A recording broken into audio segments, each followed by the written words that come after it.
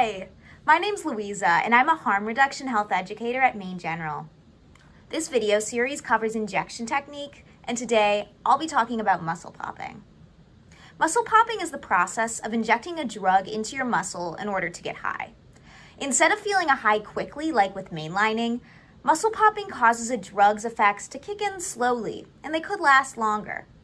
Some drugs, like hormones and steroids, are meant to be injected into your muscles. But you could also inject heroin and other drugs in this way. It should really be avoided if possible with pills, coke, and speed.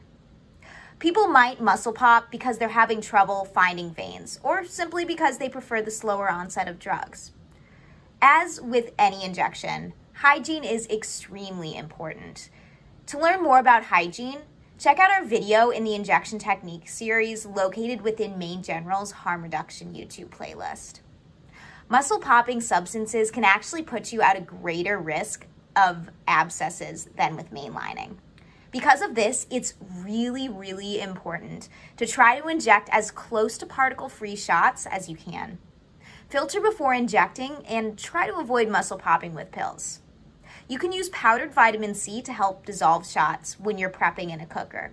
It's available at most pharmacies. Muscle popping also increases the risk of wound botulism, a condition that causes muscle paralysis and can even lead to death. Scientists still aren't completely sure why this is, but you should avoid sharing works and needles with others to prevent wound botulism associated with muscle popping. Some symptoms appear long after injection, taking days or even weeks to start popping up. So some symptoms are actually pretty similar to the ones you experience with an opioid-related overdose, like blurred vision, slurred speech, troubled breathing, and weakness. Unlike with an overdose, though, symptoms won't respond to Narcan.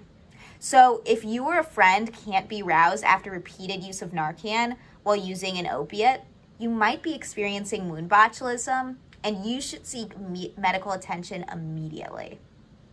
If you're muscle popping with a non-opioid drug and you start experiencing the symptoms of an opioid-related overdose, this might also be a sign of botulism. Tetanus is another disease associated with muscle popping, with the unique symptom of lockjaw. Two vaccines are recommended to prevent tetanus, the DTaP and the Tdap shot. The DTaP shot is usually given to children, but you can get a booster Tdap shot as an adult. It's usually recommended that you get one every 10 or so years after you turn about 19. If you have a primary care provider and are concerned about tetanus, ask about this at your next visit. If you don't have a primary care provider, Tdap shots are offered at some pharmacies and can be free with some insurances. At Next Step Needle Exchange, we can help you find a primary care provider if you'd like. In terms of site location, your best bets when muscle popping are going to be in your upper arm at your deltoid, which is the muscle where your shoulder and arm meet, the upper outer corners of your butt, and the front to side surface of your upper thigh. If you're injecting hormones, you should only use your butt or thigh. Either way, be sure to rotate injection sites to avoid getting an abscess or any other type of infection. When you're injecting into a deltoid, locate the bone at the top of your arm by your shoulder and place about three to four fingers below it, like this. You should inject where your fingers end, so right about here. If you want to inject into your thigh, mentally divide your thigh into three sections, moving from your knee to your hip. Inject in the upper outer top of the middle section. If you're injecting into your butt, mentally divide each cheek into four sections and inject into the upper outer section. Long needles are gonna be your best bet for muscle popping because you'll need to go deep, so to speak, in order to reach the muscle. The longest needles we offer at Next Step Needle Exchange are a bit shorter than the needles used to inject intramuscular vaccines, so you'll definitely want to insert the full needle.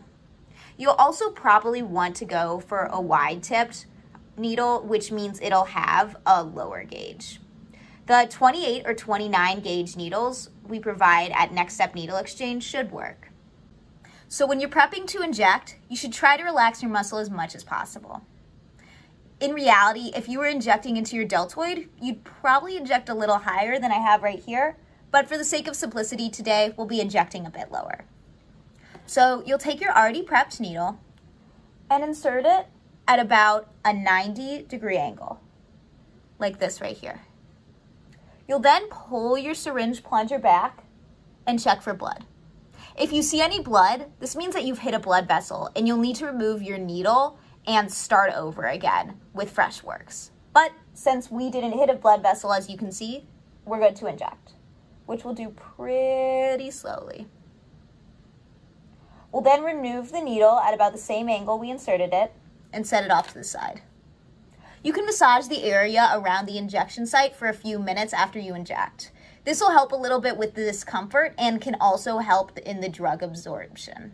At Next Step Needle Exchange, we offer many supplies like cottons, needles, sterile waters, tourniquets, alcohol prep pads, BZK pads, and triple antibiotic ointment.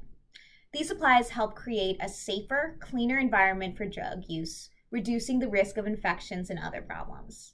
Thanks for joining me today, and I invite you to check out more of our videos located in Maine General's Harm Reduction YouTube playlist.